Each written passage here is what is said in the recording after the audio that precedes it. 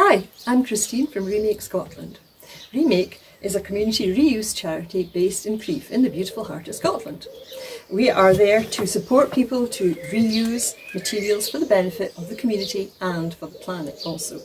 Um, this is the first in a series of videos in which we're going to try to demonstrate to you simple sewing skills that you can use to make your clothes last longer and to prevent them from ending up in landfill. Right, we're going to start by sewing a button on a shirt. All you need for this, needle and thread, a little pair of sharp scissors, and of course the button. If you have lost the button, the chances are that you will find there's one on the inside of the garment somewhere. Don't have your thread too long, about 45 centimetres is plenty. And we're going to make a knot in the thread to start. Simply make a little loop, pass your needle through the loop once, twice, pull it tight and you have a knot. This will stop your thread slipping through the fabric. Now if, you, if the button has already has just come off as here you can probably see the holes. So we're going to start by turning to the back and we're just going to take a tiny little stitch, pull it to the knot, take another little stitch just to secure the thread. Turn it to the right side, place your button over the holes and we're ready to go. So bring your needle up. Sometimes it's a little difficult to find the hole. And we're just simply going to go up through the hole, down, and this is a four hole button. So we're going to go up through the other ones. Don't pull your thread too tight.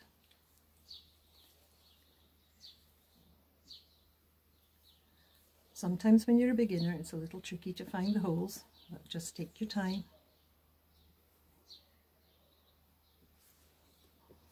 And you want to go up and down about four or five times through each hole to make sure your button is nice and secure. Once you've done that on the last one, don't go right through the fabric, just go through the hole of the button.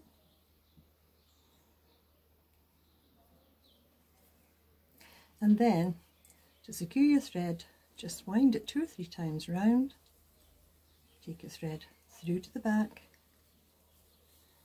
a couple of little stitches on top of each other, just really small stitches to secure it, cut your thread and you're done. Your button is sewn on nice and securely and it will not come off. So, so next we're going to sew a button on in a slightly different way. If you've lost a button from a jacket or a coat which has thick fabric, we have to use a slightly different technique. If you can see how there's a little gap between the button and the fabric there, that is so that the button will go through the buttonhole because we're dealing with a much thicker fabric. Right, so now we're going to sew a button onto a thicker fabric. You need to have a slightly different technique so that your button will go through its buttonhole. This time I'm using double thread, again not too long, and again I'm going to make a loop, pass the thread through twice so that I have a little knot. Now, so we're going to use this fabric. I'm going to take my needle from the back like we did before. Sorry, and I'm going to secure it with just a little stitch. Now, this time when you're sewing on a button that needs a little bit of give for a thicker fabric, you do it as before, through one hole, down through the other. But this time we want a little bit of a gap here. We don't want this to be really tight against the fabric. So I'm just going to stick my finger through there just to, so that I don't make it too tight. And as before, I can find the hole. I'm going to go up and down. Now the reason I'm using thread double this time is because it's a thicker fabric. Um, it's probably on a coat or a jacket or something and it needs to be quite strong. So we're going to go up and down like we did before. But you can see how I've got my finger under there to stop it becoming too tight. If you can't find the hole, just flip it over and have a look.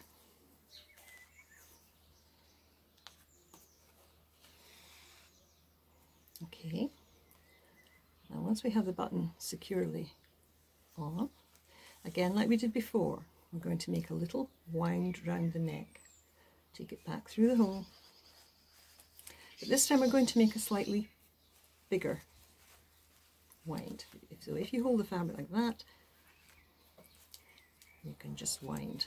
Maybe, I don't know, eight or nine times and you can see how we've created a kind of little neck there. As before, take the needle to the back of the fabric, a couple of little stitches, that's too big,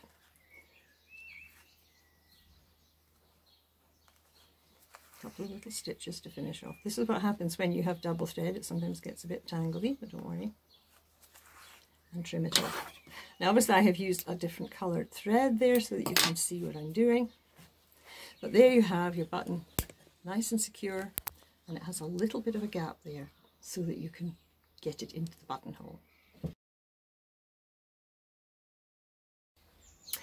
Sometimes you'll have a button that doesn't have buttonholes but has a shank like this.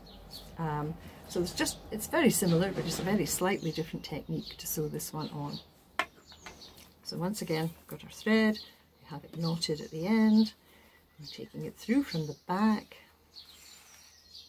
a couple of stitches to secure, and it doesn't matter if you do these stitches on the front or on the back, either will do fine. So this time you have to kind of hold the fabric flat, like that. And it's just exactly the same as before. I'm just going to take the thread through.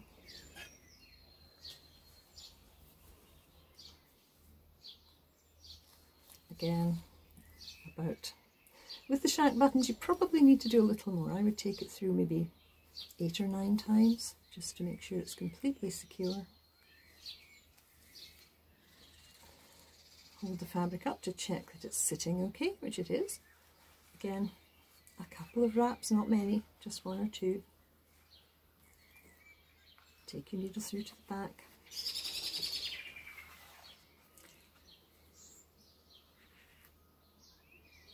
Sorry, my thread's got caught there. And a couple of stitches just to secure your thread. It's really important that you remember to do that because if you don't secure the thread, it's very easy for your button just to come off again. And then trim. And there we have.